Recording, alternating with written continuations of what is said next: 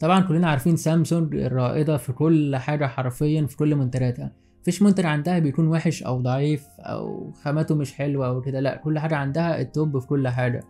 فلما عملت tab عملت tab ال top في كل حاجة. هو ال Tab ال S 8 وعملت ليه عيلة مش لوحده جاي مع الأفراد بتوعه. وهما ال S 8 Plus وال S 8 Ultra النهارده اكلمكم عن الثلاث أنواع دول وإيه الاختلافات ما بينهم في كل حاجة. فنبتدي بأول حاجة معانا وهي الشاشة. فشاشه ال S 8 بس 11 وال S 8 Plus 12 وال S 8 Ultra اللي هو البابا بتاعهم 14 و6 يعني حرفيا كأنك ماسك لابتوب في إيدك مش تابلت عادي. في كل حاجة حرفيا نفس مقاس اللاب مفيش أي اختلاف. تقدر تستخدمه كلاب كتابلت ككل حاجة هيأدي معاك في كل حاجة. هو فكرة التابات أصلا دي إن هي مثلا بتكون أكتر لفئة الجرافيك المصممين اللي بيعملوا ديزاينات الرسومات والحاجات دي. وحتى كمان دعمته بال S Pen. فده مخليه سهل جدا أنت تقدر تعمل design عليه تعمل أي حاجة. عامل تقريبا مشابه لل iPad Pro. تقدر تصمم تقدر تعمل اللي أنت عايزه. كل حاجة متاحة بالنسبة له. غير طبعا دعمهم كلهم لل 5 G آه ال tab ده بصراحة يعني خرافة جدا يعني. وبالنسبة للألوان فال S 8 بينزل بلون رصاصي بس وال S 8 Plus وال S 8 Ultra بينزلوا بثلاث ألوان رصاصي ولون فضي ولون ذهبي زهري يعني. هو لون غريب بصراحة شرحه غريب شوية. يعني تحس إن هو مثلا لون ذهبي بس يعني في جزء زهري شوية كده زي لون البامبي كده شوية. بس عامة كمنظره يعني كشكل وكده لون جميل جدا بصراحة. وبالنسبة للبطاريات فهي بتيجي بثلاث أحجام مختلفة للثلاث تابات فأول واحد اللي هو ال S 8 الصغير بيجي ببطارية 8000 ملي أمبير. ال S 8 Plus الأكبر منه شوية بيجي ببطارية 10090 ملي أمبير مش عارف إيه فكرة ال 90 الزيادة دي. وال S Ultra اللي هو العالي أوي الكبير بتاعهم بيجي ببطارية 11200 ملي أمبير. يعني أعتقد فرق الزيادة دي عشان طبعا فرق حجم الشاشة وكده فطبعا بيبقى فيه استهلاك أكبر للبطارية. بس هو عامة يعني استهلاكه من البطاريه يعتبر خفيف يعني هيكمل معاك طول اليوم مش هيكون عندك مشكلة. ولا محتاج انت تقعد تشحنه كتير وكده ولا هيفصل منك لا هيأدي معاك طول اليوم عادي جدا. وطبعا التابات دي بتدعم الشاحن ال 45 واط اللي هو السريع بتاع السامسونج ولكن للأسف هو مش موجود. لازم انت بعد ما تشتري ال tab تروح تشتري الشاحن عشان تقدر تشحنه. وبالنسبة للكاميرات فالكاميرات حلوة جدا في الثلاث فئات بتاعته يعتبر كأنك ماسك مثلا ال S 23 Ultra فجميل جدا في الكاميرات. ال S 8 العادي بيجي بكاميرا 12 وال S 8 Plus بيجي برضه بكاميرا 12 ال S 8 Ultra بقى قال لك طالما هو Ultra نخليه زي ال S 23 Ultra هنخليه باربع كاميرات اتنين أمامي واتنين خلفي. الاتنين الخلفي الاتنين الأمامي.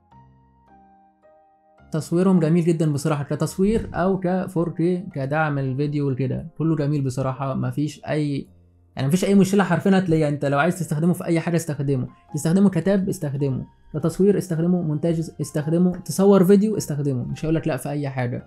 وغير طبعا زي ما قلنا من شوية ال S Pen. ال S Pen بتاعه هو ما بيجيش زي في ال S 23 Ultra ان هو بيبقى جوه الجهاز. لا ال S Pen هنا عاملينه ب magnetic من بره زي مغناطيس من بره بيتلزق على ظهر التاب. فده هو ممكن يعني ما نضمنش بصراحة ما جربتوش قبل كده فما أعرفش ممكن يقع من التاب أو لا بس عامة بيقولوا الماجنتيك بتاعه قوي جدا. فأعتقد مش هيبقى فيه مشكلة ومش هيقع.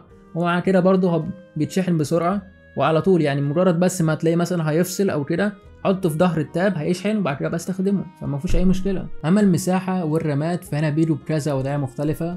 بيجي ب 8 مع 128 أو 8 مع 256 وبيجي برامات 12 مع 256 ومع 512 ورامات 16 كمان مع 256 و512 فحرفيا مكفي كل الاحتياجات اللي هو اللي انت عايزه هاته. كمان الشاشة بتاعت الثلاث تابات دي جميلة جدا إنها Super AMOLED المعروف في سامسونج عامة في الألوان والتشبع والحاجات دي كلها. غير إنها بتدعم HDR 10 Plus وكمان دعمها لأنها Quad HD فده مخليها حاجة جميلة جدا. يعني تخيل إن أنت تقدر تشوف فيديو بدقه 8K على الشاشة دي. فجميلة جدا بصراحة. وغير طبعا دعمها ل 16 مليون لون. هو دي أنا كنت أتوقع مثلا ممكن يخلوها مليار لون عشان تبقى الألوان أكتر تشابه بقى والالوان سلسة أكتر وجميلة أكتر. بس عامة ال 16 مليون لون لو أنت شفتها مش هتلاحظ إن في حاجة مضايقاك. يعني هتلاقي يعني فروقات بسيطة جدا. لو جبت مثلا تليفون واحد مليار لون مثلا مع التاب ده هتلاحظ فرق بسيط جدا في الألوان. لكن الألوان الطبيعية عادي ما فيهاش مشكلة مش هتضايقك في حاجة. كمان دعم الشاشة لل 120 هرتز فده مخليها سلسة جدا ولذيذة جدا في الحركة بتاعته في كل حاجة. على حسب ما انت بتستخدمه طبعا سواء كمونتاج أو سواء انت بت scroll مثلا بتتصفح مثلا فيسبوك يوتيوب الحاجات دي كلها. وحتى كمان لو انت بتلعب gaming لو انت من عشاق ال gaming فال tab ده هيساعدك. هيساعدك كشاشة وكسلاسة. فالموضوع جميل جدا بصراحة في الشاشة بتاعته. ده غير كده الشاشة بتاعته طبعا بما إنها كبيرة فده بيساعد إن أنت تقدر تستخدم كذا تطبيق في نفس الوقت. فهي تقدر تقسمها نصين أو تقدر تقسمها لكذا جزء بحيث إن أنت مثلا عايز تستخدم الجزء ده ل app معين والجزء ده ل app تاني. فده مساعد جدا فيها بصراحة. وصار كل الجمال والأداء ده لازم يكون فيه processor قوي. هو هنا بيجي ب processor Snapdragon 8 Gen 1 مع Adreno 730 كارت رسوميات. فقوي جدا بصراحة وهيأدي معاك في أي حاجة أنت عايز تعملها. مش هيكون معاك أي مشكلة ولا في أي عطل أو تعليق أو الحاجات دي لا انساها خالص. كمان أنت تبدأ تقدر تركب له keyboard خاصة بيه اسمها Book Cover Keyboard ال keyboard دي بتقدر تركبها من تحت في ال tab بتحسسك كأنه حرفيا لابتوب كل حاجات اللابتوب هتلاقيها عليه. فده بيخليه يعني مش محتاج حرفيا إن أنا أجيب لابتوب عشان أفتحه عشان أعمل حاجة مثلا أو شغل أو كده. كل حاجة تقدر تعملها عليه بمجرد بس تركب له ال keyboard دي. كمان أساسا هو بيدعم إن هو تقدر تربطه بال S 22 وال S 23 وتقدر تنقل من التطبيق من التليفون لل tab. يعني مش محتاج ان تفصل بين ده وده لا. الاتنين بيشتغلوا كأنهم حاجة واحدة. ده فصل انقل على اللي بعديه عادي جدا. كمان أساسا من بداية من Windows 10 فما فوق ل Windows 11 بتقدر تربط ال tab بال laptop عندك كأنهم حاجة واحدة. تقدر تنقل الشغل من هنا لهنا في لحظة. يعني مش محتاج إن أنا أنقل من هنا أو أفتح مثلا USB مثلا أو بلوتوث أو كده عشان أنقل من هنا لهنا لا. بكل بساطة انقل من هنا لهنا بدوسة. وفي ميزة جميلة جدا إن أنت تقدر تنقل كل ال data والبيانات بتاعتك من التليفون السامسونج بتاعك لل tab بكل بساطة. مش محتاج إن أنا أنقل حاجة وآخد وقت قد كده يومين ثلاثة مثلا عشان أنقل ال data. لا في لحظة طالما عامل حساب و account على سامسونج انقل من هنا لهنا في لحظات. موضوع بسيط جدا. والتلاتة بيجي فيهم الإطار الجانبي من حاجة اسمها ألومنيوم مدرع مش عارف بصراحة إيه الخامة دي أول مرة أسمع عنها. بس ممكن تكون أقوى شوية وتستحمل أكتر الخدوش إن ما حاجة. الله أعلم. وكمان بيدعموا ثلاثة تطبيقات كتير للجرافيك والمونتاج والحاجات دي. من ضمنهم تطبيق اسمه Clip Studio Paint وده كويس جدا للجرافيك. يعتبر كأنك مثلا بتستخدم Photoshop بس على التابلت بتاعك. مش محتاج إن تفتح lap ولا كمبيوتر ولا PC. موضوع لذيذ جدا. كمان التلاتة بيدعموا الواي فاي ل 6 ايد جديد وبيدعموا بلوتوث 5 و2 فأعتقد ما فيش مشكلة في الخدمات أو في الاتصالات بتاعته. بس يا سيدي دي كانت نهاية الفيديو النهارده عن تابات التلاتة من عيلة سامسونج اللي هم ال S 8 وال S 8 Plus وال S 8 Ultra يعني ما تنسوش طبعا تتابعوني على الإنستجرام وعلى التيك توك. التلاتة بنزل عليهم بس كل طبعا كل منصة بنزل عليها حاجات مختلفة.